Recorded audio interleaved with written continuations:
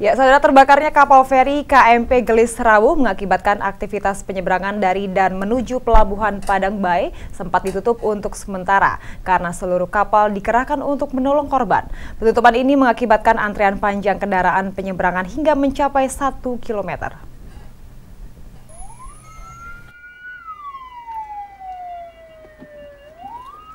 Terbakarnya kapal feri KMP Gelis Rawuh milik perusahaan Jembla Ferry membuat aktivitas penyerbangan di Pelabuhan Padang Bayi Karangasem sempat ditutup selama hampir lima jam karena pihak Sabander Pelabuhan mengerahkan seluruh kapal yang ada untuk membantu proses evakuasi dan menolong para korban.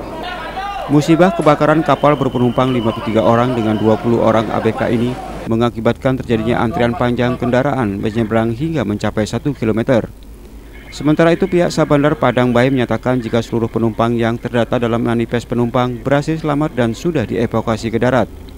Iya. Pak, kondisi kapal sebelum berangkat itu sebenarnya seperti apa? Layak laut. Hah? Layak laut. Statusnya Layak gimana laut. Pak? Bisa Baik. dibilang? Layak laut. Ah, ah. Status itu gimana Pak? Layak laut itu? Eh, kapal dalam keadaan siap operasi karena kita sudah lakukan uji petik jauh sebelumnya dan eh, sebelum kapal diberangkatkan sudah diperiksa sama anggota kami. Dugaan sementara Pak itu penyebabnya apa Pak? Kami belum tahu, belum mendapat informasi dari nakoda juga kami sedang nanti kita akan eh, lakukan pemeriksaan dan meminta keterangan dari nakoda.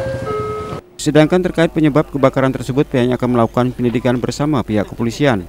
Namun berdasarkan informasi dari sejumlah penumpang kapal tersebut, sumber api berasal dari salah satu mobil kol diesel yang terbakar di dek kendaraan. Api cepat merambat dan membesar. Pasca kejadian ini belum diketahui ke mana bangkai kapal itu akan dievakuasi. Dari Karangasem, Iputu Agus Setiawan melaporkan.